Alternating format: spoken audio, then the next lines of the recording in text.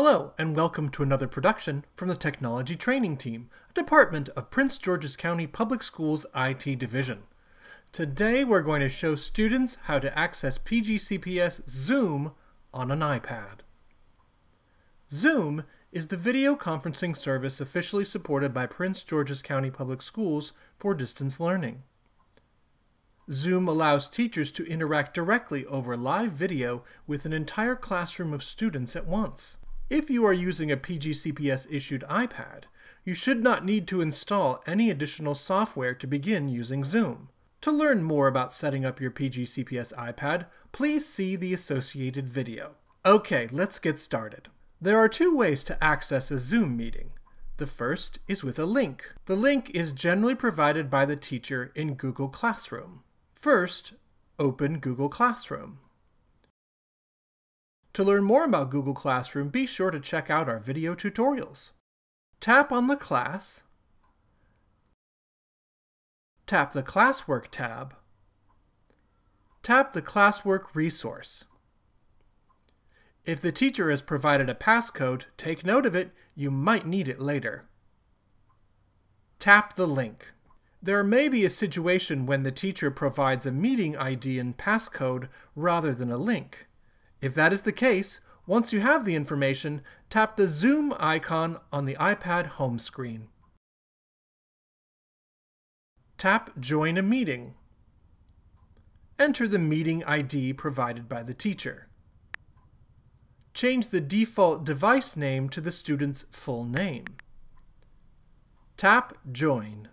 Regardless of whether you used a link or a meeting ID, if you are logging in for the first time today, you must log in using the student username and password. When you see the Please Register pop-up window, tap OK. Enter your student username and password. This is the same username and password you use to log into all PGCPS services and applications. To learn more about student passwords, or if you need to reset your password, please see the associated video. Once you have entered your username and password, click Sign In. If prompted to do so, enter the Zoom passcode that the teacher provided for the meeting. Tap Continue. The first time you launch Zoom, you may see several pop-ups. Tap OK to allow Zoom to use the iPad's microphone. Tap Allow to allow the Zoom app to add notifications. You are taken to the waiting room. The teacher will grant you access to the meeting when they are ready to begin class.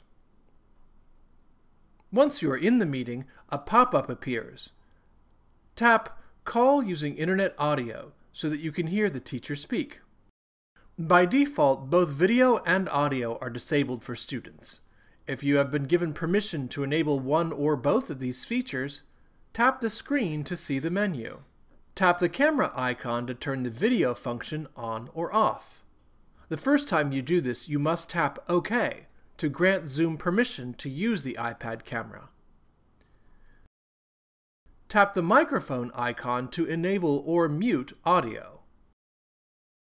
To type a message, tap More. Then tap Chat. Type your message, then tap Send. Keep in mind that anyone in the meeting can see the message. Tap Close to return to the video screen.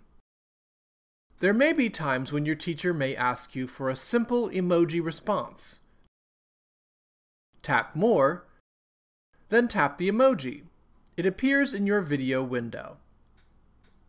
To view all participants in a grid, tap the screen, then tap Switch to Gallery View. To return to the previous view, tap the screen again, then tap Switch to Active Speaker. When the class is over, tap the screen, tap Leave, then tap Leave Meeting. And that's how to use Zoom on an iPad.